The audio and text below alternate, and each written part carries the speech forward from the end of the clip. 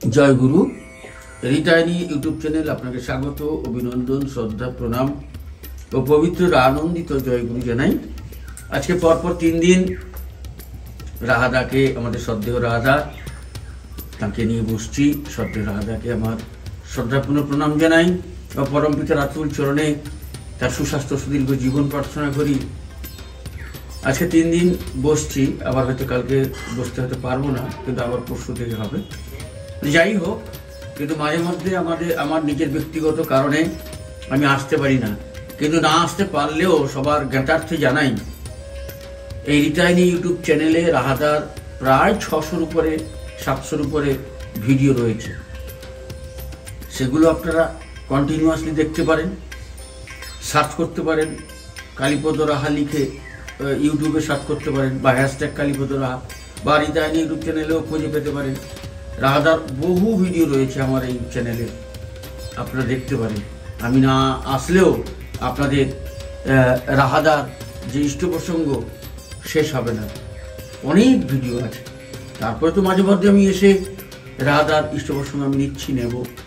ইচ্ছে রয়েছে, কিন্তু কিছু বাধ্যতা মানে কি বলব কাজের চাপে হয়তো অনেক সময় আসতে পারি না। ঠিক আছে পরমিতার আতুল চরণে আপনাদের সবার মঙ্গল প্রার্থনা করি। রাহাদাকে প্রণাম জানাই। শুরু করি আজকের নিবেদন। জয় গুরু রাহাদা। আপনি যদি ইষ্ট প্রসঙ্গ দয়া করে করেন। আমরা শুনব, ঠাকুরের কথা শুনব আপনার মুখ থেকে। আমরা অনুপ্রাণিত হই, উদ্বুদ্ধ হই এবং ঠাকুরকে নিয়ে চলা অনুপ্রেরণা পাই। জয় গুরু রাহাদা। পরম পিতার রাতুল চরণে আমার সর্বাগ্যে কোটি কোটি প্রণাম। তার রাতুল চরণে আমার একান্ত প্রার্থনা আপনারা সুখ শান্তি স্বস্তি অধিকারী হোক সবাইকে নিয়ে আবার সুখে শান্তিতে থাকুন আমার একান্ত প্রার্থনা। আর আমার দৃঢ় বিশ্বাস আমরা থাকবেনও কারণ তার অপার করুণা যখন আপনারা লাভ করেছেন তাকে যখন পেয়েছেন একদম। তখন আর কোনো চিন্তা কি? তিনি তো আছেন। আর এ বিশ্বাস রাখেন তিনি আছেন থাকবেন কোনো হ্যাঁ? তা এক দাদা জিজ্ঞা হচ্ছে কেমন আছিস রে? দা ঠাকুর জিজ্ঞা হচ্ছে ঠাকুর আমি তো বড় গাছে নাও বান্ধিছি আমি কে ভাই ভাই হুম। তা ঠাকুর বোধহয় নাও তো তুমি বান্ধিছো দেখো দৌড় যেন খসে না যায়। হ্যাঁ। খসে গেলে তো নাও করে যাবে খসে যায় না। তার মানে তোমাকে যে তার সঙ্গে যোগযুক্ত থাকার জন্য যজন যজন স্টিভিটি এগুলো তা ঠিক মতো করে যাও তাহলে তার সঙ্গে যোগ্য থাকতে হবে। নাহলে তুমি নাও তো মানুষের দীক্ষা নিচ্ছে আর কিছু করো না, তাহলে তো তিনি আর কিছু করতে পারবেন না। তার সঙ্গে যুক্ত থাকার জন্য আকাশে একটা ঘুড়ি ওড়ে, আর নিচে একজনের কাছে নাটাই থাকে। মাঝখানে ওই ঘুড়িটাকে উঠা নামা করে ঘুড়িটাকে চালাবার জন্য একটা সুতো থাকে। ওই সুতোটা যদি কেটে যায়, তাহলে ঘুড়ি উড়ে চলে গেল, তাহলে আর হলো না। তেমনি তার সঙ্গে যোগযুক্ত থাকতে গেলে তার প্রদত্ত যে যজন যজন স্টিভিটি এইগুলো যেন আমরা ঠিক মতো যাই ঠিক থাকবে। আজকেই পড়ছিলাম এক জায়গায় সকালবেলায়। যে তার সঙ্গে যে তার ওই যজন যজন করলেই তার সঙ্গে যুক্ত থেকে যাচ্ছে।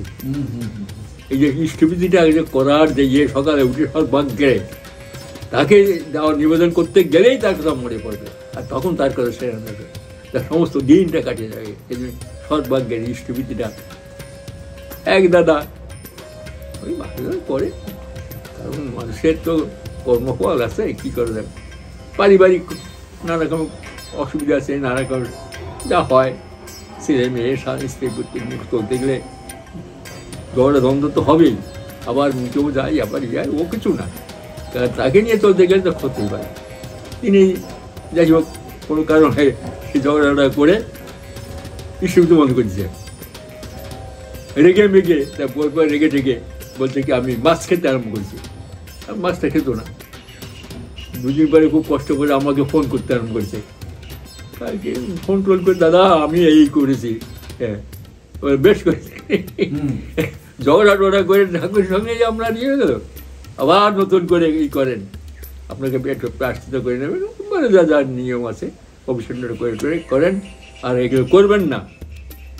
ঝগড়া হতে পারে ই হতে পারে। এগুলো তো আসবে জীবনে। কর্মফল আমাদের থাকবে। আর এগুলো বাধা আসবে। সৎ পথে চলতে গেলে অনেক অসংখ্য বাধা আসবে অসংখ্য বাধা আসবে। সেই বাধা অতিক্রম করা এইটাই তো হচ্ছে আমাদের ইয়ে পৌরুষত্ব। আরে পুরুষ মানুষ আপনি ওগুলো চিন্তা করেন কেন? হ্যাঁ? পুরুষ মানুষ পুরুষ মানুষ থাকবেন। ঠিক আছে দাদা ঠিক বলছি আপনার আমি কয়েকদিন ধরে মন খুব খারাপ। রাখবে আছে মানুষের জীবনে চলার পথে কত রকমই হয়। দেখেন মাঝে মাঝে ফিরে যাই পিছনের দিকে। অনেক জীবনে অনেক কিছু জীবনে ঘটে গেছে। দেখ কারণ তো এত বছর কারও হলাম তো। তো শৈশব স্মৃতি পুরনো স্মৃতিগুলো মাঝে মাঝে জাগ্রত হয়, করি করি, ভালো লাগে মোটটা ভালো লাগে। আবার ভাবি কি, তাকাবো না ওদিকে হ্যাঁ? ফিরে, সঞ্চয় তো থাকা করে ফিরে টাকা না ফিরে হ্যাঁ? নিক করে টানে পশ্চাতের কোলাহল হতে। হ্যাঁ?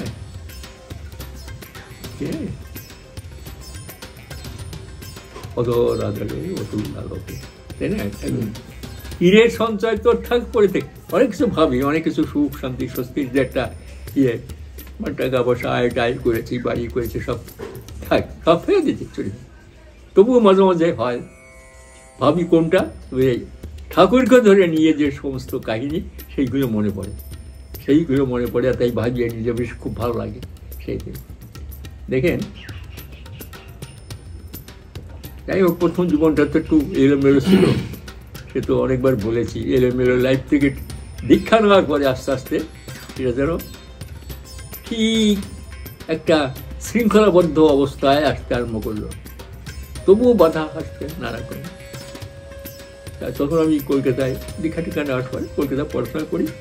আর এত ভালো লেগে গেল, বা পাবনা ঠাকুরকে দেখার জন্য, বা পাবনা তখন আর কি আমি ওই কলকাতায় ওই মাঝে মাঝে প্রায় একটু দু একদিন ছুটি ছুটি থাকলে চলে যেতাম। ওই সুরমা বেলে উঠতাম, নটায় ছাড়তো ট্রেনটা, ঈশ্বরদী স্টেশনে গিয়ে বারোটা নাগাদ পৌঁছতো। ঈশ্বরদী স্টেশন থেকে বাসে করে আঠারো উনিশ মাইল পাবনা শহর, সেইখানে যেতে হতো। সেখান থেকে আবার টাঙ্গায় করে কোনো সময় টাঙ্গা না পেলে হেঁটেও দেখেছি ওখান থেকে তিন মাইল, সাড়ে তিন মাইল রাস্তা, আশ্রম। খুব ভালো লাগতো মাঝে মাঝে, দুই, তিন দিন থাকতাম, থেকে থেকে আবার আসতাম, আবার মনটা চলে যেত ঘন ঘন যেতাম। এরকম ভালো লাগতো যে অনেক কিছু ই করতাম। সেই দিনগুলো কোনো মনে পড়ে সেইতে সেই হঠাৎ আমার জীবনে মানে কর্মজীবনে ঢোকার প্রারম্ভে, তখন তো দেশ সবেমাত্র যুদ্ধ শেষ হয়েছে তো। তা পঁয়তাল্লিশ সালে যুদ্ধ শেষ হলো সেপ্টেম্বরে। সচল্লিশ সালে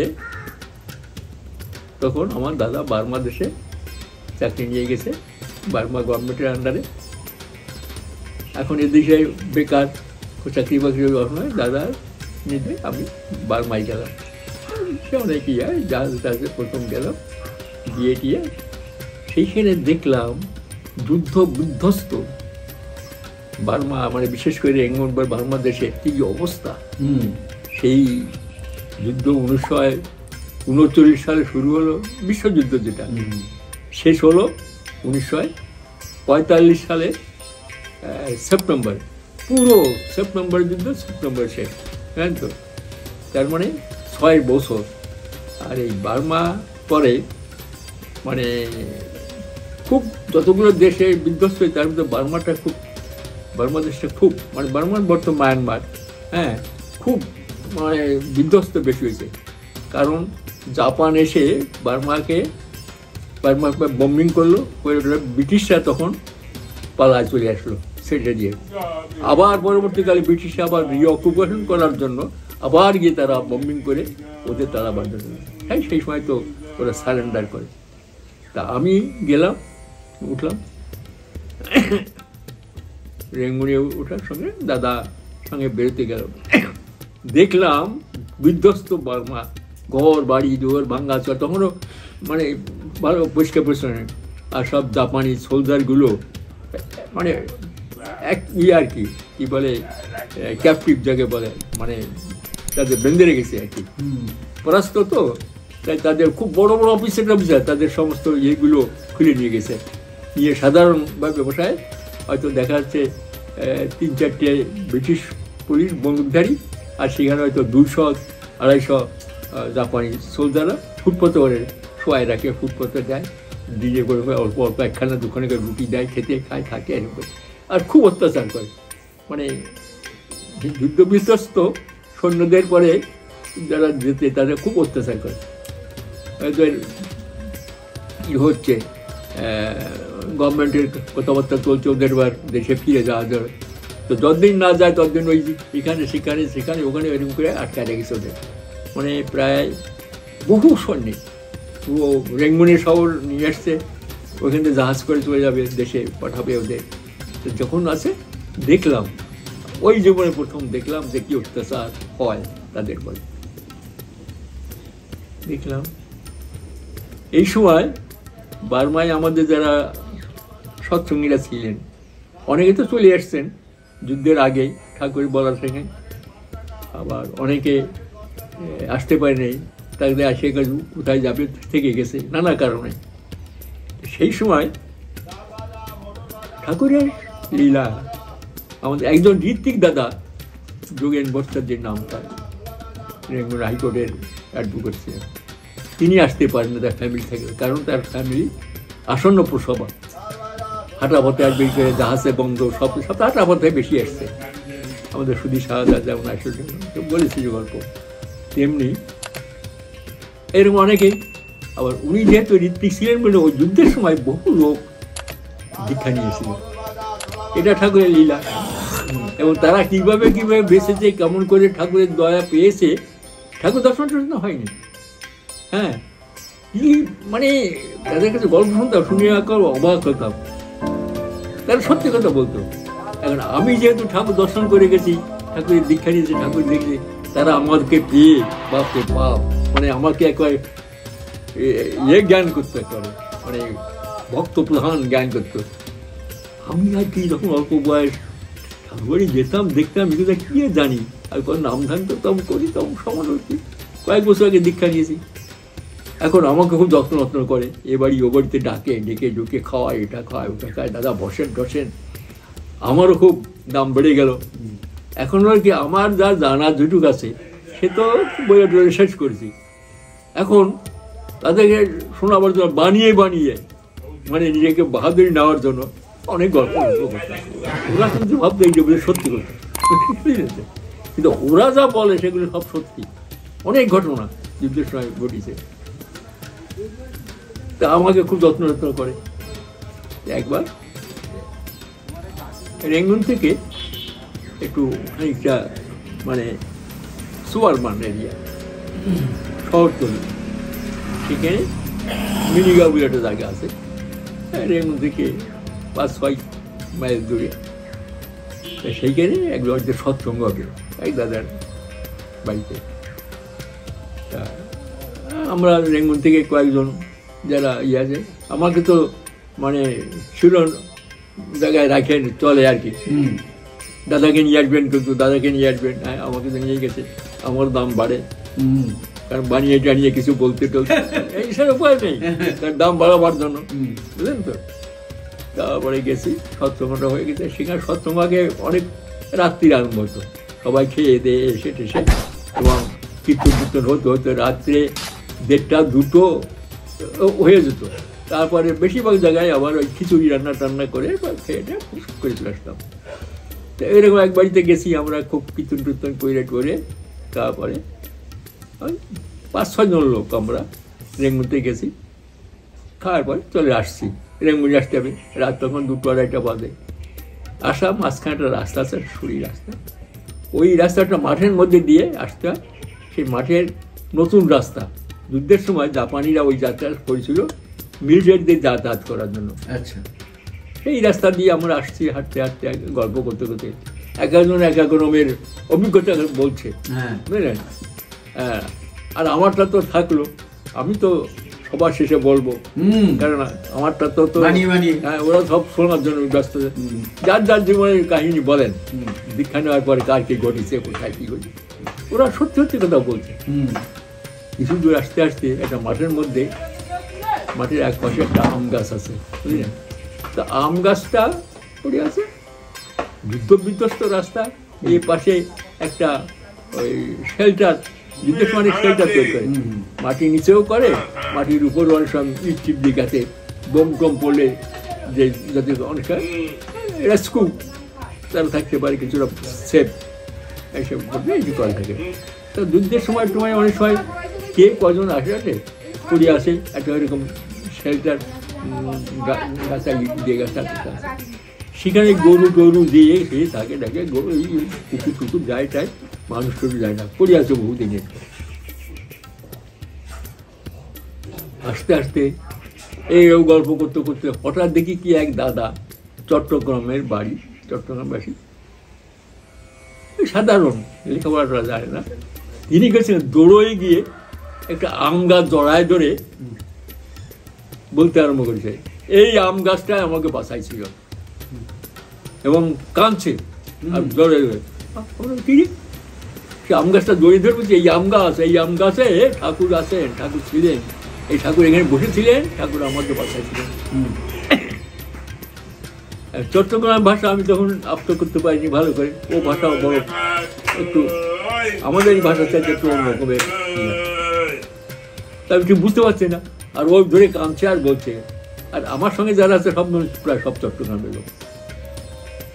তারপরে আমি তো হা করে আছি পরে ওরা আমাকে বুঝিয়ে দিল আমাকে কি কি ঘটনাটা। ঘটনা হচ্ছে ওই দাদা যুদ্ধের সময় দুধ বিক্রি করতেন আচ্ছা। শহরতলি থেকে দুধ এনে শহরে বিক্রি করতেন তো রোজ সকালবেলায় যেতেন নটা দশটার সময় দুধ ই করে মাথায় করে দুধের ক্যানটা মাথায় করে নিয়ে শহরের ভিতর রেঙ্গুড়ে বিক্রি করতেন। তো রোজ যান রোজ আসেন এর করে একদিন ওরকম যাচ্ছেন যেতে যেতে হঠাৎ দেখে কি একটা সাইরেন বিজয় দিছে। সাইরেন বাজলে যে তাদের সব সতর্ক হও। মানে যুদ্ধ বিমান এসছে। এখনই যে কোনো বিমান পড়তে পারে মানে বোম পড়তে পারে। তা আশেপাশে যে যেখানে থাকে, শেল্টার ফেল্টার থাকে, সেখানে আশ্রয় নেয়। না গেলে ওই যে তখন তো জাপানের রান্নাটা তো। জাপানি সোলজারগুলো এসে জোর জবর করে ঢুকোই দেয় কারণ এখন হঠাৎ দেখে একটা প্লেন মাথার উপর উড়ে গেল। আর এদিকে সাইরেন বাজছে। মানে সতর্ক তো যে যেখানে ছিল সবগুলোকে লোককে ঢুকে দিচ্ছে তো ও মাথায় করে আসছে। হঠাৎ দেখছে দুটো মানে সোলজার আসছে। তার আগে গিয়ে ওই শেল্টারে ঢুকতে গেছে। দেখি অনেক লোক ঢুকে গেছে গরু ছাগল টাগল এটা ওটা ভিতরে। আর দুর্গন্ধ বহুদিন পড়ে আছে তো? মানে জায়গাটা ইয়ে আছে। তো ও ঢুকি নেবে দরজার কাছে দাঁড়াইছে আর শোর নাম করছি। খুব নাম করি। শিখিয়ে দিছে সবসময় নাম কর বিপদ থেকে কেটে যাবে। খুব করে নাম করছে। নাম করতে করতে করতে করতে আবার যখন ক্লিয়ার সাইরেন এটা বাজে। ও সাইরেনের সাউন্ডটা বলতে যাবে না। হুম। কোনটা ডেঞ্জার মানে সাউন্ড আর কোনটা ক্লিয়ারেন্স সাউন্ড তা ক্লিয়ারেন্স হচ্ছে না। কয়েক মিনিট হয়ে গেছে, অনেক অনেক কম দাঁড়া খেতে হচ্ছে না। তো বলছে যা হাঁটি। লোক ফাঁকা। আস্তে আস্তে আবার নাম করতে করতে হাঁটছে। আবার কিছুক্ষণ পরে প্লেনটা আবার ওই দিকে উড়িয়ে চলে আসছে। হ্যাঁ কিন্তু সাইরেন বেজে যাচ্ছে। ওই ইয়ে। হঠাৎ ওইটা দেখে ওই আম গাছটার গোড়া এসে দাঁড়াইছে প্লেনটা মাথার উপরে। আর দেখল তখন বেশ খানিকটা দূরে এসে। একটা মানে দুটো বোম বড় ধরনের বোম। একটা বোম ডাইরেক্ট ওই যে শেল্টারটা যেটা দাঁড়াইছিল তারপরে পড়ছে। গরু ছাগল মানুষ যা ছিল একেবারে ইয়ে গেছে। আর আর তার ইয়ে একটা দূরে একটা মাঠের মধ্যে ফেলিছে। ওর এত বিকট শব্দ ও করছে কি? ও সব শব্দতে পড়ে গেছে। আর ওর মাথার যে দুধের ক্যানটা ছিল, সে মাথার শিয়ারে পড়েছে পড়ে, দুধটা পড়ে ইয়ে গেছে। অন্ধকার অন্ধকার হয়ে গেছে, একটা ধোয়া ধোয়া হয়ে উঠে গেছে। ওর তো জ্ঞান ট্যান নেই। ওর যখন জ্ঞান ফিরছে, জ্ঞান ফেরার কারণ হচ্ছে ওই যে দুধটা উপর পড়ে ওর মাথা ভিজে গেছে। জলের কাজ হয়েছে। ওর মাথাটা ইয়ে খানিকটা উঠে বসে দেখছে তো একটু অন্ধকার অন্ধকার ধোয়া ধোয়া। আর সেই সময় দেখছে কতগুলো রেস্কিউ সোলজার জাপানি। তারা কী করছে? গাড়ি গাড়ি এনে ওদের রেস্কিউ গাড়ি থাকে। সেইগুলো গাড়ির ভিতর নিয়ে মরা আধা মরা হাফ মরা সেইগুলোকে ঢুকোচ্ছে ঢুকে নিয়ে আর হসপিটালে নেয় না। কোথায় নিয়ে যাবে? সেগুলোকে নিয়ে ওই সমুদ্রটা ফিরে যায়। যা সব করে যায়। মানে যা আসে হয়তো বাঁচবেই তারা বেঁচেও যেত। কিন্তু ওরাও দেখে দেখে না। মানে হিতায়ত জ্ঞান থাকে না ওটা কোথায় নিয়ে যাবে? যা নিয়ে যা। তাই গাড়ি ভরে ভরে নিয়ে ফিরে যাচ্ছে পরিষ্কার করে দিচ্ছে। দোয়াটা খাতে ওই দেখে উঠে দাঁড়ায় একটু এমন সাথে কিন্তু দুটো সোলজার আসছে। ও পড়ে আসছিল। ওকে ধরে নিয়ে ফেলে দেবে। হঠাৎ উঠে এরকম ই করছে। তখন ওই সোলজার দুটো দেখছে চলে গেল। হুম চলে গেল ও বলছে যে ঠাকুর আমাকে কীভাবে বাঁচালেন। আমি তো সেই টাইমে ঢুকতে পারতাম, নাম করছি। হঠাৎ কি যেন মনে হলো, কতক্ষণ দাঁড়ায় থাকব? হাঁটি দুর্গন্ধ, আস্তে আস্তে হাঁটি রাস্তা দিয়ে হাঁটতে হাঁটতে দেখি শুধু রাস্তা আমি আম গাছটার গোড়ায়। হঠাৎ দিকে প্লেনটা ফিরে আসলো। এইসব ভোঁ ভোঁ করে একটা বউ ওখানে আমি ওখানে থাকলে আমাও চলে যেতাম। এইখানে সে পড়ে আমি তো চিতে পড়ে আসি। ওই দুধটা মাথায় দিয়ে আমার জ্ঞান ফিরছে। ওরা তো আমাকে তুলে নিয়ে ফেলে যেত আমি শুয়ে থাকলে ফেলে নিয়ে যেত মানে আমার জ্ঞান ফিরছে দেখিছে আমার আছে। ওরাই আবার আমাকে ফেলে দিয়ে চলে গেল। ঠাকুরের কি দয়া নাম করার কি দয়া এই দয়ায় আমি বেঁচে গেলাম। মানে বলছে এই কথা সত্যিকারের কথা। আর কাঁদছে। কাঁদছে। আমি তাকে হেসে ওর যে কথাটা সবটা সত্যি। আর আমি যে বলি সব হচ্ছে কাল্পনিক। বানিয়ে বানিয়ে। বানিয়ে বানিয়ে বলে তখন ভাবলাম এরা আমার থেকে অনেক বড় দরের ঠাকুর দর্শন হয়নি কিন্তু ওরা অনেক বড় দরের ভক্ত ঠাকুর এদের সঙ্গে থাকে। কিসে ওই নাম নামে পেরে সেই দিন থেকে আমার নতুন জ্ঞান ফিরল আমি না আর মিথ্যা কথা বলে বাহাদুরি পেয়ে লাভ নেই। ওই ওদের কাছ থেকে শেখার দরকার আছে। আজ তাই মনে পড়ে যে ওই নাম দেখি নেই ওরা কাঠামোর সঙ্গ করেনি কিছু বুঝিনি শুধু তাই আজকে হয়তো অনেকে বলেন যে আমরা তো, আপনি তো ঠাকুর দর্শন করো ঠাকুরের সঙ্গ করার লোক, সেই ইয়েতে তো অনেক কিছু দেখান না। আমি দেখেছি ঠাকুরের অবর্তমানে ঠাকুরের দেহরেখের পরে। অনেকে আমার মাধ্যমে নাম পেয়েছে।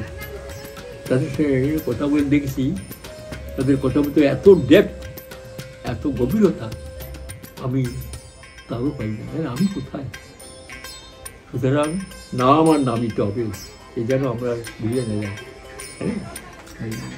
তার অপার কঠিনা। সেই পরের বছর দেশ ভাগ হয়ে গেছে। আমাদের যেখানে বাড়ি, সেই বাড়িটা তখন চলে গেল পূর্ব পাকিস্তান। যেমন এখন যেটা বাংলাদেশ প্রথম নাম ছিল পূর্ব পাকিস্তান। দেশের ইন্ডিয়া আর পাকিস্তানও দুই ভাগ হলো তো পাকিস্তান পশ্চিম দিকে, পাকিস্তান ওইগুলো থাকল।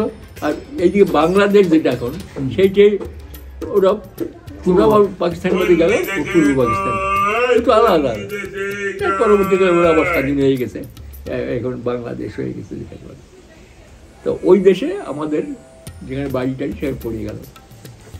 তো প্রথম যখন ফর্টি সেভেনে এলো, আমি ফর্টি এইটে আসলাম ছুটিতে। তখন আসা যাওয়া করতে কোনো পাসপোর্টও লাগবে না। তাই বাড়িতে গেলাম। বাড়িতে গিয়ে শুনলাম আমার মা বলছে এখানে আমাদের টিকা থাকে না কারণ যে কোনো সময় মুসলমানরা আমাদের অ্যাটাক করতে পারে। বাড়িতে বিবাহযোগ্য প্রায় পাঁচটি মেয়ে আছে। আমার শরী তখন সদ্য বিধবা অল্প বয়স। মার পক্ষেটা মানে খুব ইয়ে কখন কী হয়ে যায়? কারণ আমাদের যেখানে বাড়ি, তার থেকে একটা মাঠ পারে, ওপারে সব মুসলিম এরিয়া। এবং তারা অনেকটা অশিক্ষিত ইয়ে সম্প্রদায়ের আর কি খুব ইয়ে ওই গরিব, চুরিচামারি করে খায় খায়। আর তারা দেখলে হিন্দুরা এরকম থাকে ভালো। ওদেরটা দেখি ইচ্ছা হলো, ওরা যারা ধরনের পরিকার লুটপাট করে খাবে বা এরকম। সুতরাং বাড়িতে এই মুসলমান মেয়েগুলো আছে কী করা যায়? আমি বললাম মা চলো ঠাকুর বাড়িতে চলো। তা আমার মা আমার সর্দি যে তার ছোট একটা মেয়েকে নিয়ে আমি একবার ওই কলকাতা হয়ে আবার দেওঘর গেলাম আটচল্লিশ সালে। মা এই সময় ওর কি দেশ ভাগ হওয়ার সঙ্গে সঙ্গে বাড়িতে যারা ছিল সবাই দীক্ষা নিয়ে নিছে।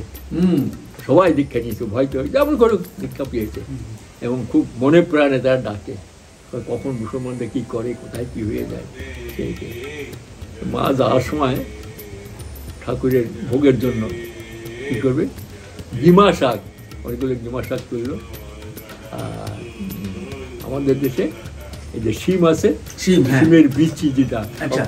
করে হ্যাঁ। শিমের বিচির ভালো ডাল হয়। ডাল। ডালকে খুব অপূর্ব টেস্ট রান্নার কায়দা আছে।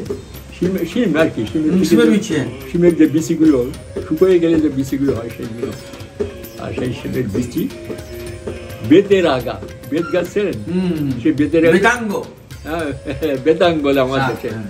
হ্যাঁ, বেতাং বলে ওর আগা কেটে ওর শ্বাসটা বের করে ওটা খেলে খুব উপকার হয় মানে বেত গাছের আগাটা কেটে দিতে হবে কি হ্যাঁ আগাটা কাটা থাকে তো। হুম। সেই কাটা কাটা সেরে আগাটাকে নিয়ে ওই শ্বাসটা করতে বের করে শ্বাসটা মানে ওটাকে রান্না করেও খায়। খুব ইয়ে দারুণ ইয়ে আর কি মানে আয়ুর্বেদিকের খুব অনেক উপকার। হ্যাঁ। এখন পাওয়া যায় না। হ্যাঁ? এখন না। আমরা জান আমাদের সে ই করে এটা কবিরাজি ইয়েতে খুব অনেক বহু রোগের হাত থেকে এটাকে কথা দেয়। সে কী করল? মা ওর কিছু জোগাড় টোয়াড় করে একটা বেঁধে নিয়ে চলবে। গিয়ে হ্যাঁ ওখানে ঠাকুর যে উঠেছি ঠাকুর দূর বাংলাদেশ কারও কয়েক বছর আগে ওখানে আছে আর দেশ ভাগ হয়েছে ঠাকুর খুব একটা ইসের মধ্যে আছে হঠাৎ আমি মা আমার দিদি উঠেছি বড়াল বাংলার বারান্দা ঠাকুর বসা আইসিস আইসিস আরে আইসিস হ্যাঁ ঠাকুর আহ, মাকে দেখে মা প্রণাম করে মাকে কি আনিস রে?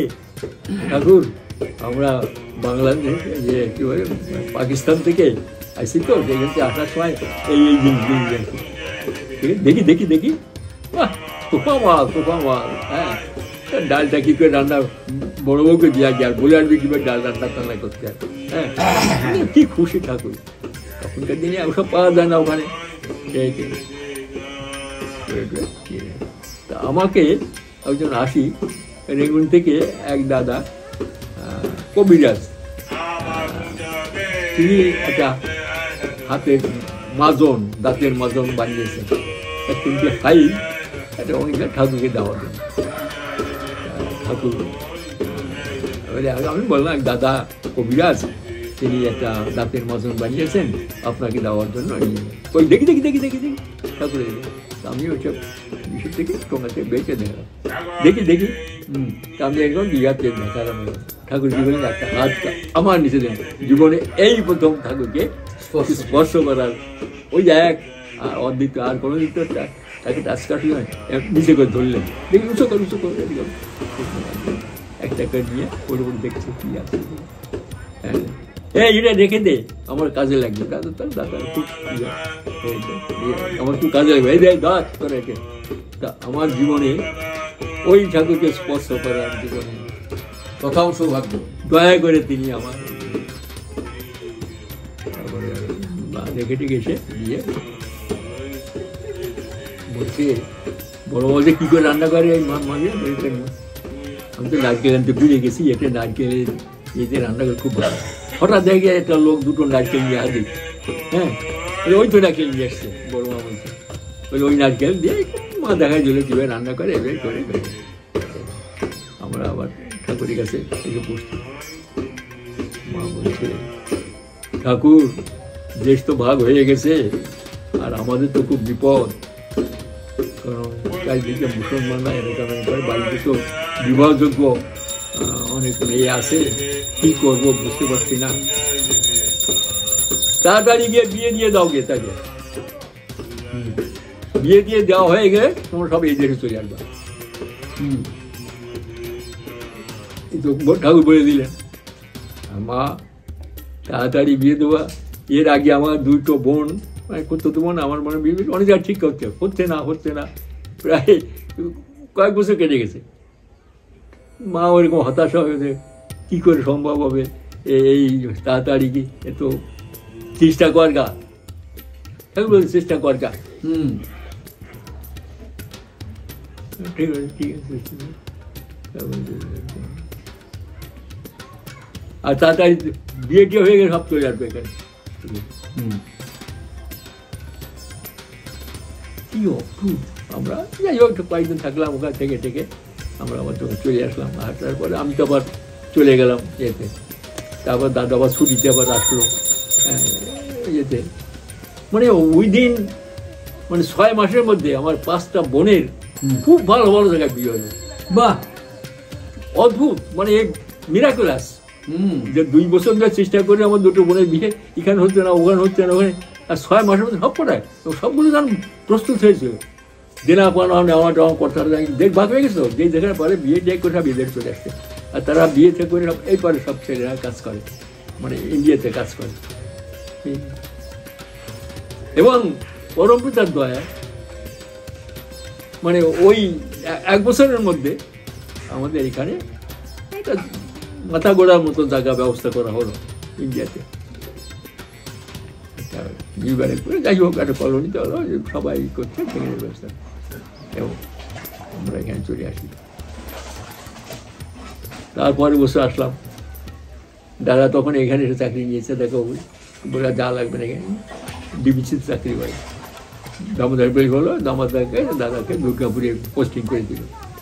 দাদা নিয়ে ওই দুর্গাপুর বেড়ে দেন দাদা প্রথম লোক সেখানে সব অফিস টফিস খুলে করতে হলো দাদা আসলো, আমি আসলাম ঠাকুর বাড়িতে গেলাম দুইজনে।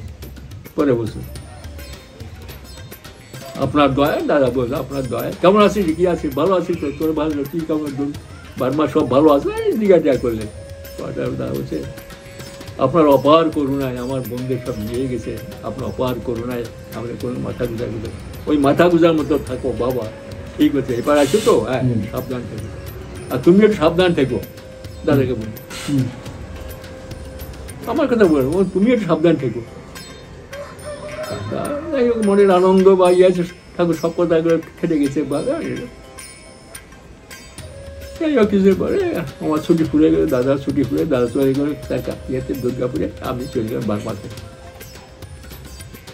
কিছুদিন পরে প্রায় মানে মিটি হয়, অনেকদিন চিঠিপত্র পাই না বারমা দাদা চিঠিপত্র পাই না, বাড়ি কেউ আমাকে যায় যায়নি ছয় মাস পরে দাদার কাছে চিঠি বললাম আজকে আমি অফিসে জয়েন করছি। এতে বলিটাই নেই। কি? ওই মৃত্যুর হাত থেকে পরম পিতা আমাকে ফিরিয়ে নিয়ে আবার অফিসে। ঘটনা হচ্ছে ওই যে ঠাকুর বললে তুমি সাবধানে থেকো। হুম। অনেক আগে তো ঠাকুর বলছেন তুমি সাবধানে থেকো। দাদা ওখানে নতুন অফিস করেছে দাদা ইনচার্জ ওখানে ই করে রে। তা এখন সমস্ত ওয়ার্কাররা কাজ টাজ করে। তা সেইখানে তাদের পেমেন্ট টেমেন্ট দিতে হয় তখন দুর্গাপুর তো জঙ্গলের জায়গা, ওখানে কোনো ব্যাংক নেই, কিছু নেই, কোনো ইলেকট্রন নেই। বর্ধমান সে তাদের ইয়ে আর কি ব্যাংক ট্যাঙ্ক ব্যাংক বর্ধমানের টাকা পয়সা করতে ট্রেজার থেকে টাকা এনে দিতে তেমনি একদিন মাসের শেষে, মাসের প্রথমে ওই গাড়ি করে দাদা, দাদার একজন অ্যাসিস্ট্যান্ট একটা ছেলে ড্রাইভার আর দুজন সিকিউরিটি সঙ্গে করে নিয়ে যাচ্ছে টাকা আনতে। গাড়িটা যাচ্ছে জিটি রোড দিয়ে, খুব স্পিডে তখন জিটি রোড এত বড় না, অত ইয়ে এত স্পিডে যাচ্ছে, যেতে যেতে নতুন একটা গাড়ি ওদের সামনে একটা ড্রাইভার সামনে একটা মোষ নাকি রাস্তা ক্রস করছিল তাকে বাঁচাবার জন্য বা যেমন করো, একটু ঘুরেছে, আর ঘুরতে গিয়ে পাশে ছিল একটা আম গাছ। ওই আম গাছের বারে একটা ডাইরেক্ট গিয়ে গাড়ি চালিয়েছে এক সমস্ত গাড়িটা একেবারে ভেঙে চুরিয়ে ইঞ্জিন টিঞ্জিন শুধু একেবারে। হুম, বুঝলেন? পাঁচজন লোক অন দ্য স্পট হ্যাঁ হ্যাঁ। দাদা দাদার অ্যাসিস্ট্যান্ট ড্রাইভার আর পিছন দূর সিকিউরিটি পাঁচজন পড়ে আছে। রাখা আছে ডিবিসি গাড়ি। রাস্তার লোকে যাত্রীরা দেখে গেছে কেউ কিছু না। অনেকক্ষণ পরে যাই হোক কেউ হয়তো থানায় খবর টবর দিয়ে পুলিশ এসে ডেকে টেকে নিয়ে যেতে যেতে ওই পোস্টমর্টম করতে হবে। সেও ওর বর্ধমান নিয়ে যেতে হবে। নিয়ে গিয়ে বর্ধমানে যখন নিয়ে গেছে পুলিশে, তো সন্ধ্যা হয়ে গেছে মানে রাত হয়ে গেছে। হসপিটালের স্টাফরা আর কেউ ইয়ে নেই, তো কোথায় রাখা হবে? কাল সকালবেলায় এগুলোকে পোস্টমর্টম করতে হবে। ওই হসপিটালের বারান্দায় ডেটগুলো ফেলে গেছে, একটা কাপড় ডেকে রেখে চলে গেছে। ডাক্তার ডাক্তার হাতে দেখা যায় ভোরবেলায় একটা সুইপার সে পরিষ্কার করতে এসছে। এসে দেখি একটা কাপড় নড়ছে। হুম। এটা নড়ছে কাপড়টা। কাপড় নড়ছে? সে সুইপারের ইয়ে গিয়ে ডান্ডা দিয়ে তুলে দিকে চোখ একটা বিট বিট করছে। হুম। ও ভাবছে একটা বুট হয়ে গেছে। মরা মানুষ। ও চেঁচায় উঠেছে সুইপারটা হুম। পাশে ইয়ে ছিল হসপিটালে নার্সরা ছিল একটা নার্স দৌড়ে এসছে। এসে দেখে এই যে সত্যি তো সে কী করল? তাড়াতাড়ি ডাক্তারকে ডাক দিল। যিনি ইয়ে ছিলেন ডিউটিতে ছিলেন রাতের ডিউটিতে তিনি এসে দেখলেন তাই তো ঠিক আছে এই তো লাইফ আছে। তাড়াতাড়ি ইঞ্জেকশন দিয়ে দিল। যে চোখ নড়ছে আমার দাদার। ইঞ্জেকশন দিল। দিয়ে দিয়ে ভাবলো সবগুলো থাকতে পারে। সবগুলো ইঞ্জেকশন দিয়ে দিল। দিয়ে দিয়ে সব ডাক্তার ডাক্তার আসলো ডেকে ডেকে সবাইকে আবার তুলে নিয়ে ওখান থেকে নিয়ে বেডে রাখল বেডে রেখে এ, তারপরে দেখা গেলো যে ওই দাদা জায়গায় রিভাইভ করল আর সব কথা মরে গেছে সব পোস্টমর্টম করল দেখে। দাদার কাছে পরে লিখছে যে দাদার জ্ঞান ফিসে মানে যখন জ্ঞান ফিসে তখন থেকে তার মাথার শিওরে আমাদের মনোরঞ্জন চ্যাটার্জি বর্ধমানের বিশিষ্ট কর্মী সৎসঙ্গী। হ্যাঁ। ধীরেন্দা আমাদের হাত দিয়ে নাম করছেন। ধীরেন্দা ঠাকুর আপনাকে রাখেন আপনাকে কাজ করার জন্য। বুঝলেন তো? হ্যাঁ খবর পেয়েছেন সৎসঙ্গীরা। সবাই আসছে এবং অফিসে খবর পেয়ে গেছে। সবাই আসা যাওয়া করছে এরকম মানে জ্ঞান ফিরে দেখছে আমার অফিসের লোক আমার ইয়ে সৎসঙ্গীরা ভর্তি আছে আমি তো বুঝতে পারছি না। তারপরে দাদার কাছে পড়াশোনা যে আমি তো নাম করি ড্রাইভারের পাশেও নাম করছি আর আমার মনে হলো যেন নাম করতে করতে ঠাকুর জন্মকে তার কোলে করে নিয়ে বসে আছেন চোখ খুলেও দেখছি সামনে সত্যি কি নাম করছে? তারপরে আমরা আমি আর দাদা পরে বরপুজো গিয়ে ঠাকুরের সামনে গেলাম। ঠাকুর এসব ব্যাখ্যা করছে আর লোক সব শুনছে।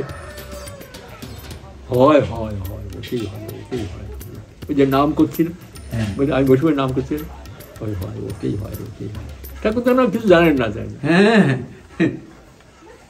তো ঠাকুর এই নাম করছিল আমার জন্য নাম নেই আর ডাইরেক্টর কিছু বলেন না? ঠাকুর তো যা বলার বলে দেন নাম আর নামই তবে দাদা বলছে আমার মনে হলো যেন আমার কোলের পরে তার কোলে পরে আমি বসে আছি। দু মাস হসপিটাল ছিল দু মাস পরে তিনি ফিট সার্টিফিকেট দিল। তখন দু মাস পরে আবার জয়েন করি। দু মাস পরে সব ঠিক হয়েছে হাট টাট যা দেখে কত কাহিনী এগুলো ভাবি এক একটা করে সেই। ঠিক ঠিক ঠিক একদম একদম।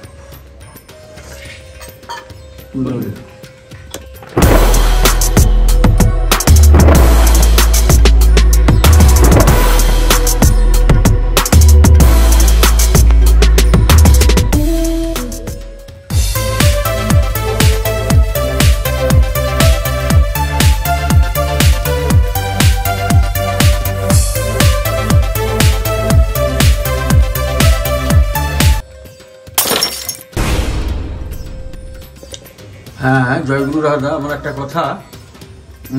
আপনার কাছে জানতে ইচ্ছে করছে আপনি তো দীর্ঘদিন বার্মাই ছিলেন। তো সেখানে শুনেছি তো বেশি বুদ্ধিস্ট। কিন্তু এই রোহিঙ্গা এই যুদ্ধস্ব ভয়ানক লোভস্বর রোহিঙ্গা মুসলিম সে বিষয়টা কি বা কীরকম রোহিঙ্গা হলো এটা যদি একটু দয়া করে বলেন।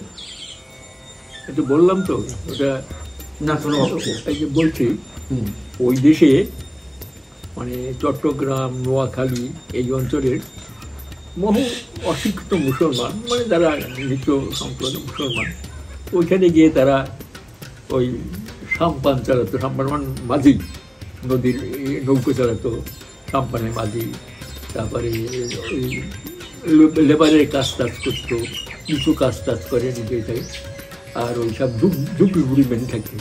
ওরা কি করতো ওইখানকার যে সমস্ত নিচু সম্প্রদায় মানে একটু ইয়ে অভাব অভিযোগের করা সমস্ত বাংলাদেশের মেয়ে ও তো বুঝতি বুদ্ধিস্ট সম্প্রদায় ছিল। তাদের সঙ্গে বিয়ে টিয়ে হয়। বিয়ে করে তাদের ঘরে যে সন্তান সন্তান বোঝা যাচ্ছে এসব তো কি এ, সন্তান আসতে পারে ঠাকুরের নীতিতে। এগুলো সব ডেঞ্জারাস এরা না লেখাপড়া শেখে না ইগায় ওই ডাকাতি গুন্ডামি বদমাইশি আর চুরি চামারি এই করে খেয়ে খায়। এই সম্প্রদায়টায় খুব মানে বারবার মানে লোকগুলোকে ব্যতিগ্রস্ত করে হুম। খুব বেড়ে গেছে ওরা। এবং এই দিয়ে তারা আবার ধরুন নতুন যে বার্মায় মিলিটারি গভর্নমেন্ট তারা দেখল এরা তো খুব ই করছে এদের ভাগাও তো ওদের প্রতি যেখানে খুঁজে গেছে শহর টহর যেখানে যা আছে ওইরকম প্রচুর জন্মিছে। সেই সম্প্রদায়টাকে তুলে নিয়ে ওই আরাকারের কাছে একটা জঙ্গল ওই দিকে ঠেলে নিয়ে আসছে যেখানে পায় মেয়েটা তারা পালাটলায় এদিকে ফিরে আসছে বলছে ওটা মুসলিম ওটা তো মুসলমান তো। মুসলমান যাক বিয়ে করেছে মুসলমান হতে হয় তো মুসলিম তা সুতরাং সব মুসলমান দেখে চলেছে বাংলাদেশ মুসলমান ওইদিকে বাগায় বাড়তে চলেছে ওই বর্ডারে এসে তারাই এখন ওই ভালো নাম হয়েছে রোহিঙ্গা। হ্যাঁ এইগুলো আমরা বলতাম জেরবাদী বুঝলেন? এরা কেমন ডেঞ্জারাস জানেন? ওরা মানে মানুষটার মাত্র তো দেবত করতো না মানে অমানসিক এই ছেলে পেলেগুলো। আর কোথায়? ঘর বাড়ি? যেখানে সেখানে ডুবলি মন্দির থাকতো। তা ওদের এত বেড়ে গেছে যে ওসব ঝুপড়ি ফুপড়ি ভেঙে টেঙে ওর গভর্নমেন্ট কী করল? আমরা থাকতে থাকতে শহরের বাইরে বেশ খানিকটা দূরে আর মাঠে মধ্যে ওদের বাস বাস করার ব্যারাক তৈরি করে দিল জল থাকা থাকা থাকা ইয়ে করে। কিন্তু ওখানে যাবে না। তো অনেক দূর তো। ওখানে শহরে এইটু পায় না। তাই ওদের নানা রকমের প্রোগ্রাম দিল। যারা আসবে, তাদের দুশো টাকা করে দেওয়া হতো। দিয়ে তাদের থাকা টাকার ব্যবস্থা করে কেউ যেতে দিত আমরা আমরা যেখানে ছিলাম মানে রেঙ্গুনে মানে হার্ট অফ দ্য টাউন রি স্ট্রিট বলতে এখন কি নতুন নাম হয়েছে ভুলে গেলাম নামটা। সেখানে, তো ওইখানে আমরা একটা জমি কিনে ঠাকুরের মন্দির করার পরিকল্পনা করলাম আমাদের যেখানে অধিবেশন কেন্দ্রটা ছিল সেই অধিবেশন কেন্দ্রের অপোজিটে রাস্তার ওদিকে একটা বাড়ি চারটা একটা বাড়ি ছিল যুদ্ধের সময় ডাইরেক্ট বোম পড়ে ওই বাড়িটা একবার ধ্বংস হয়ে যায় আচ্ছা সেই বাড়িটা দুটো প্লট। এদিকে ওদিকে থাকে ওদের প্রত্যেকটা বাড়ি ওরকম ইয়ে ছিল হুম। মানে রেঙ্গুন শহরটা একবার মানে ব্রিটিশের মানে প্ল্যান করা শহর খুব সুন্দর শহর। মানে নাম করা করা রাস্তা সব। এক নম্বর রাস্তা দুই নম্বর রাস্তা তিন নম্বর রাস্তা। আর দুটো রাস্তার মাঝখানে একটা বড় রাস্তা এরকম একটা হিসেবে তাই লুই স্ট্রিটের আমাদের বাড়ির সামনে যেটা প্লটটা ছিল সেইটে পড়ে আছে। ওইবারে মালিক সে চলে গেছে পাকিস্তান ওই পশ্চিম পাকিস্তানের লোক। সেই জায়গায় ওই জায়গা দখল করতে পারে ওই জায়গায় ওই রোহিঙ্গারা কি বলে জেরবাদীরা হ্যাঁ। ঝুপড়ি করে বসবাস করতে আরম্ভ করেছে। তা প্রায় চার পাঁচটা পাঁচ ছটা ডুবিয়ে নিয়ে তার থাকে থাকে। ওইখানে খায়, দেয়। আর জল তো রাস্তার জলের কল আছে, সেই জল টল নেয়। আর ওইখানে থাকে থাকে ওই খায়- খায় রিক্সা চালায়, কেউ সাম্পান চালায়, কেউ এইসব নানা রকমের কাজ টাজ করে। আর বিয়ে করেছে সব ওই ইয়ে বার্মিজ মেয়ে। আমরা ওই যেখানে মালি সে আমি অনেকবার চেষ্টা করে জায়গাটা বেশ সাহায্য কিনতে না। ওই তো চলবে কি? তা আমাদের সঙ্গে যোগাযোগ করি। খুব অল্প দামে বুঝলি খুব অল্প দামে। মানে কুড়ি হাজার টাকায় তখনকার দিনে পুরো জমিটা পিছিয়ে দিয়ে দিয়েছিল তা আমরা কায়দা করে ওই জায়গাটা আমরা নিয়ে নিলাম হুম। দখল তোমরা নিয়ে নেবে আমরা নিতে দিতে পারব তা ঠিক আছে। এখন দখল নিতে যে শুনেছি যে আমরা ওই জমি কিনেছে ওরা জেনে গেছে দাঁড়াও না। কি থেকে দেখে যে আমরা তিনজন লোকে দেখি অপোজিটের অধিবেশন কেন্দ্রে। আমাকে মাস্টার দা মাস্টার দা বলতো ওরা। হ্যাঁ, মাস্টার দা ও মাস্টার দা তুমি তোমরা জমি কিনেছো দাঁড়াও আসো। এখন রাস্তাঘাটে চলতে ভয় লাগে রাত্রিবেলা মেরিটে দেয়। হ্যাঁ। হ্যাঁ? কিন্তু আমাদের প্রত্যেক রবিবারে সৎসঙ্গ হয়। বাইরের থেকে সব সৎসঙ্গীরা আসে টাসে সবাই জানে যে এই জমিটা আমরা কিনেছি। ওরা উঠছে না। এরা তো জানে না, এসে আবার তো রিমার্ক করতে হবে। তোদের উঠে দিতে কতক্ষণ লাগে দেখে দেবো, দেখি তোরা ওইখানে থাকবি ওরা শোনে যে ওরা চলে যায় তারপরে যায়। এখানে আমরা থাকি তিনজন, আমাদের পরে ওরা আমি মহা মুশকিল, কখন কি করে বসে। আর আমি একটু রাত্রিবেলা সব সময় সময় আসি। আমার খুব ইয়ে এগুলো। তো একদিন তো আমাদের তখন জলের ভালো ব্যবস্থা হয়নি আমাদের বাড়ির সামনে একটা দলের ট্যাপ আছে। ওই সেই ট্যাপে ওরা স্নান টান করে ঠিক আর আমি আমাদের দল আসতে দেরি হতো ঘরে আমি সবার আগে গিয়ে ওখানে স্নান টান করতে আসতাম একদিন স্নান করতে গেছে একটা মেয়ে ছেলে আমাকে এক মেরে মেরে দেবে অন্ধকারী হতো মেরে নেব তোমার একবারে তা চেঁচায় উঠেছে যে আমি আমি একটু ওকেই করি আমি তার ভয় তো তুলে চলে ঘরে চলে আসলাম ঘরে যারা চলে গেলেন কেন আপনি একা একা ওখানে কখন কী করে বসে ওরা তা দেখতে দেখতে মহা মুশকিল। তা এখন ওরা মাঝে মাঝে মিটিং করে নিজেরা, কী করে এই জায়গা থেকে তোলা টোলে। তো ওই জায়গায় একজন একটু মুরব্বী গোছের যেমন ওর মতো বয়স্ক, যে এটা মুসলমান আর কি নোয়াখালী না কোথায় বাড়ি। তারে আমি চাচা দিয়েই একটু খাতে টাতে করতে চাই তার সঙ্গে।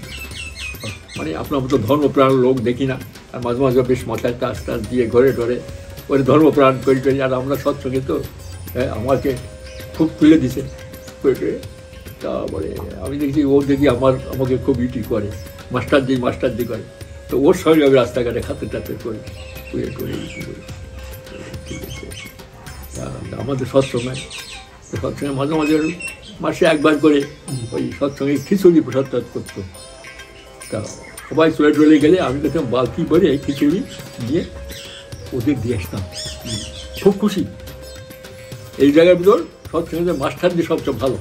মানে এরা বলতে আরম্ভ করল আপনি গিয়ে গিয়ে কিন্তু আমার সৎসঙ্গে কিছু কিছু লোক একা আমার পরে খাপা ওদের সঙ্গে খাতে কেন করেন দাদা হ্যাঁ বুঝলি কিন্তু আমার তো কাজল ওদের আজ করে তারপরে ওই আমাদের সেই কি নাম ভুলে গেছি। আমি মুন্সি সাহেব মুন্সি সাহেব বলতাম। মুন্সি সাহেব তাহলে একবার কি হয়েছে।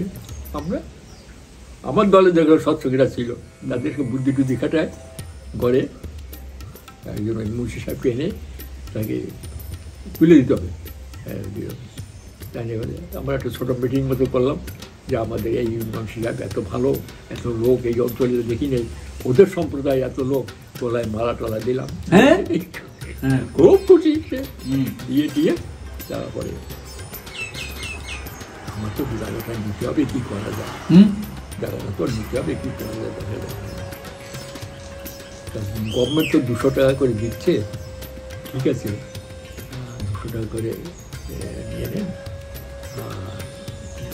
আপনাদের তো ইয়ে দুশো টাকা পেয়ে যাবেন আর প্লাস যাতায়াতের যে খরচ মানে যেসব জিনিসপত্র নেওয়ার, সেটা আমরা দিয়ে দেবো। হ্যাঁ দেখেন ঠিক করে মুর্শিদাবাদ খুশি হয়ে গেল। যেতে তো হবে গভর্নমেন্ট না হলে উ- করে পুলিশ দিয়ে বাগায় দেবে। দিচ্ছে এরকম। সব জায়গায় তুলছে সব জায়গা পরিষ্কার করছে। ওদের। যত ঝুপড়ি আছে হ্যাঁ সরকার। হ্যাঁ, পুলিশ টুলিশদের ওরা দেখতে চাই তো যেতে হবে। ঠিক আছে তাই হবে। তাহলে আর আমরা একশো টাকা করে দেবো। ওই ভ্যান ভাড়া টাড়া যা লাগে যার জন্য তার দুশো টাকা তো গভর্নমেন্ট দেবে সে টাকাটাও আমরা এনে দিয়ে দেবো। ঠিক আছে? ছটা পরিবার। হঠাৎ দেখা গেল সে ছটার মধ্যে আবার ঢুকে গেল কয়েকটা।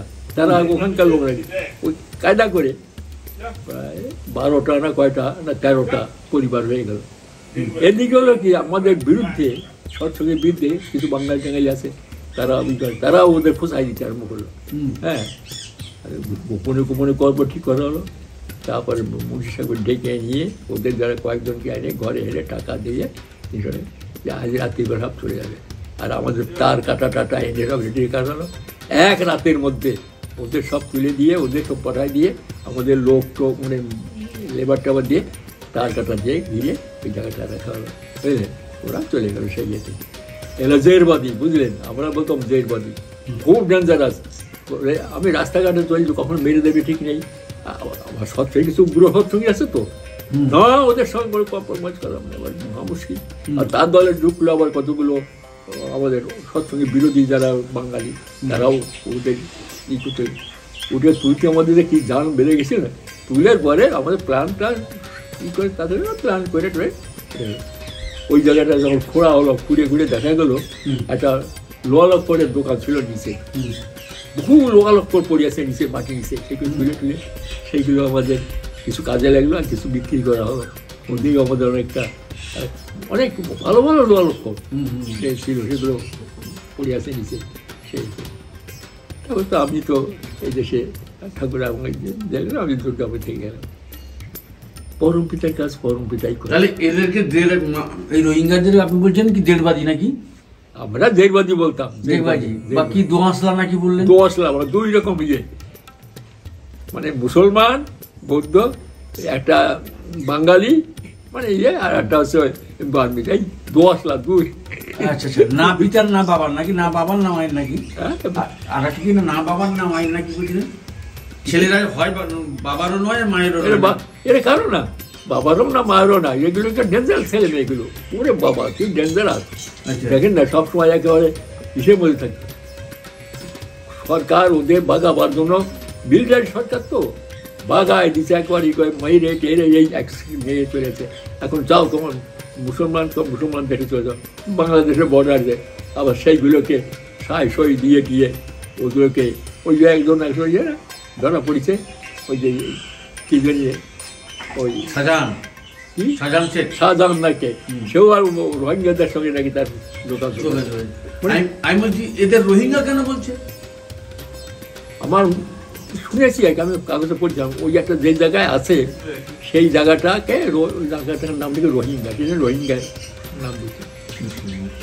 এমনি আমরা ডাক নামের দেড়বাদি বলতাম। মানে এদের জন্য সব দেশ আতঙ্ক সব দেশ সীমান্ত সিল করছে রোহিঙ্গাদের রাখতে দেবে না? এর হিস্ট্রি দেখা গেছে যে দেশে ঢুকছে সে দেশে উগ্রপন্থী শুরু হচ্ছে খুন খারাপে শুরু হচ্ছে না কারণ ঠাকুরের নীতি আছে বিবাহ নীতি। সেই নীতির বিরোধী তো এরা। তা সুতরাং এগুলো তো না বাবা না মার না সমাজে না ইয়ে জন্মের থেকেই তারা একটা ইয়ে হয়ে উঠে যাবে লাইফ লাইফ এই মারপিট উঠো গতিকে আমাদের দেশে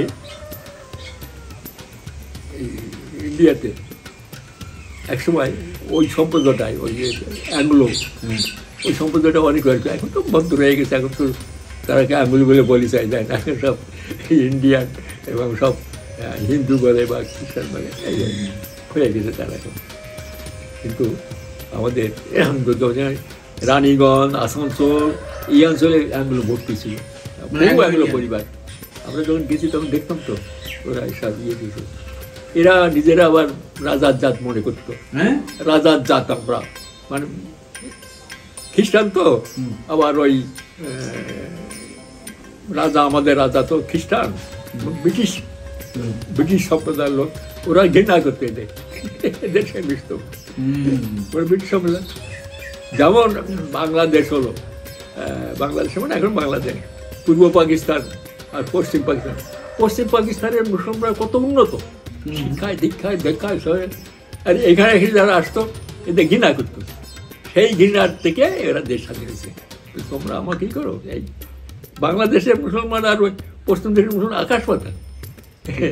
তাই না? এরকমই যাই হোক পরম পিতার মানে এই পিছনে যখন ফিরি তখন অনেক কথা মনে পড়ে কি না? হুম। সেইসব কথা বলেছি অনেকবার এগুলো। সেইকে ঠিক পরম পিতার রাত্রে সবার মঙ্গল কামনা করি। সবাই সুখে থাকুন শান্তি থাকুন ঠিক আছে। যে কয়েকদিন আপনি এখানে আসেন আমাদের কি বলে এই পৌষ সংক্রান্তিতে বাইরে তো খুব প্রচণ্ড ভিড় রাস্তাঘাটে এলাকা খুব ভিড় হচ্ছে। পৌষ সংক্রান্তি তো আরও লক্ষ লক্ষ লোকের ভিড় হবে। তারপরে পৌষ সংক্রান্তি কবে? ওই তো। সোমবারে না? সোমবার স্নান বোধ হয়। সোমবার বা মঙ্গলবার থেকে বোধহয় আপনাদের আবার ইয়ে না বুধবার থেকে আঠারোই জানুয়ারি হয়তো শুরু আঠারো থেকে। সতেরো তারিখ পর্যন্ত যে বোধহয় বন্ধ। যাই হোক তবুও ভিড় থাকবে পরেও আবার আসবে লোকজন। মানে পুরো জানুয়ারি মাসের জানুয়ারি মাস পর্যন্তই এরকম একটা ভিড় এগিয়ে থাকবে। এখন বহু লোক আসতে করে চলে যাচ্ছে না? হ্যাঁ হ্যাঁ। আসছে না বহু লোক? আপনার বাড়ি থেকে দেখা যায়? আসছে আসছে। সঙ্গে সঙ্গে পালিয়ে যাচ্ছে। এসে স্টে করছে না পালিয়ে যাচ্ছে। করে ডুবে ডুবে চলে যাচ্ছে। নদীতে কি এখন আসা যাওয়া ঠিক আছে? হ্যাঁ কন্টিনিউয়াস চলছে। কেউ ড্রেজার দিয়ে মাটি কেটে দিয়েছে? ও এখন আসা যাওয়া করতে একদম লোক হলেই সঙ্গে সঙ্গে চলছে। ও এখন আসা যাওয়া করতে পারছে? একদম। কতদিন থাকবে যাই হোক অনেকে আসতে চাচ্ছে তো তবে না মেলাটা চলে গেলে তারপরে আসো বাবা। এখন তো নদীতে এসে আটকে থাকতে হবে এখানে। ঠিক ঠিক ঠিক। ট্রলারে আসা যাওয়া করে না অনেকে? ট্রলার নেই এখন সবসময় ভেসেল এখন হুম। সবসময় ভেসেল আছে। যারা আসতে চাইছে কন্টিনিউস আসতে আর ওই দিক কি? ওই নামখানা দিয়ে। আসতে তো হ্যাঁ হ্যাঁ। ওখান এসে ওই দুটো মুখ ওরা ওই দিক এসে এখানে ওঠে না? এই ওই বেনুবন। বেনুমন্ত দিয়ে চামাগুড়ি দিয়ে চেমাগুড়ি যাচ্ছে হ্যাঁ, দিয়ে ওই চেমাগুড়ি থেকে অবন মিশন রোড দিয়ে বেরিয়ে যাচ্ছে। তো যাই পুরুষোত্তমপুর মন্দির দিয়ে বেরিয়ে যাচ্ছে। ওদিক তো যায় না? ওই নাগ সরোবর ও পথেও তো আসছি আমি? ওই যে যে ট্রলারে আসছে ও। এই দুটো মুখ। আর সব বন্ধ করে দিয়েছে। ওই দুই ওদিক তো আসছে এদিক তো হ্যাঁ, আসছে। এই দুটো মুখই খোলা আছে আর সব বন্ধ করে দিয়েছে। ঠিক আছে আজকে সৎসঙ্গ আজকের অনুষ্ঠান প্রসঙ্গ খুব ভালো লাগল। আপনাদের বার্মার যে ইতিহাস শুনলাম বা পরম পিতার দয়ায় আপনার দাদা সম্পূর্ণ মৃত্যু এবং যদি পোস্টমেটাম হয়ে যেত সেই তাহলে আর পাওয়া যেত না। পরম পিতার কি অশেষ দয়া? আমার দাদার কথা বলে নাম হচ্ছে ধীরেন্দ্রনাথ রাহা। হ্যাঁ, ধীরেন্দ্রনাথ খুব ভালো ঋত্বিক সে খুব অত্যন্ত নিষ্ঠাবান ঋত্বিক তাকে দেখেছি। একদম। অত্যন্ত নিষ্ঠাবান ঋত্বিক। অনেকেই চেনেন অনেকেই জানতেন পুরোনো দিনে হ্যাঁ, হ্যাঁ, হ্যাঁ। জানি না ঠাকুরের অপার করুণা। একদম। আমাদের মৃত্যুর হাত থেকেও তুলে আনলেন। আর শেষে আমরা সবাই শুনি রোহিঙ্গা রোহিঙ্গা বলে। বার্মা থেকেই আসছে সব। আপনি যখন ছিলেন আপনার মুখ থেকে জানলাম রোহিঙ্গা মুসলিমদের ইতিহাস তাহলে আপনাদের সে সময় থেকেই রোহিঙ্গা ছিল তাহলে দীর্ঘ ইতিহাসের সাক্ষী তারা ওই। সেইগুলোই রোহিঙ্গা ওই বলে কি হ্যাঁ, হ্যাঁ। রোহিঙ্গা মুসলিম মিলিটারি গভর্নমেন্ট তো ওখানে হুম। মানে সেই জন্য ওরা বাগায় দেয় দেশ ও সমস্ত ইসে তো বাগায় দিয়েছে সব কিছু। যাও ডাল গুলি করে মেরে একদম। এখন কোথাও হবে যাও তোমাদের মুসলমান ওই মুসলমান দেখে চলে যাও ঠিক বার্মা। মিলিটারি গভর্নমেন্ট একদম একদম একদম। খুব বেড়ে গেছে অনেক। কিছু কিছু কিছু কিছু পেলে হয়। মানে কোনো জন্ম নিয়ন্ত্রণ না কোনো যা হচ্ছে আল্লাহ হ্যাঁ যা হচ্ছে এক একটা অনেকগুলো করে একটা বাচ্চা। ঠিক ঠিক ঠিক ঠিক ঠিক। মানে কোনো আইন কানুন আইন কানুন কিছু নেই। ওরা তো। লেখাপড়া শেখে না। লেখাপড়া জানে না ইয়ে জানে না আর বরবোধ জাত যাকে বলে। ঠিক ঠিক ঠিক। একদম। পরম পিতার আতুল চরণে আপনার সুস্বাস্থ্য এবং সুদীর্ঘ জীবন প্রার্থনা করি নীরব জীবন প্রার্থনা করি। এরকম দীর্ঘদিন থাকুন এবং আমরা আপনার মুখ থেকে অনেক অজানা তথ্য, অজানা জিনিস জানতে পারব, ঠাকুরের কথা জানতে পারব। প্রার্থনা করি আপনি ভালো থাকুন, সুস্থ থাকুন। আর যারা এতক্ষণ শুনলেন, তাদের সবার সার্বিক মঙ্গল প্রার্থনা করি। যদি ভালো লাগে লাইক করবেন সাবস্ক্রাইব করবেন এবং অবশ্যই কমেন্ট করবেন। আর যদি ভালো লাগে শেয়ার করবেন। আমরা উৎসাহিত হব, তারা উৎসাহিত হবেন। আজ এই পর্যন্ত, আবার আগামী পর্বে দেখা হবে। জয়গুরু বন্দে পুরুষোত্তম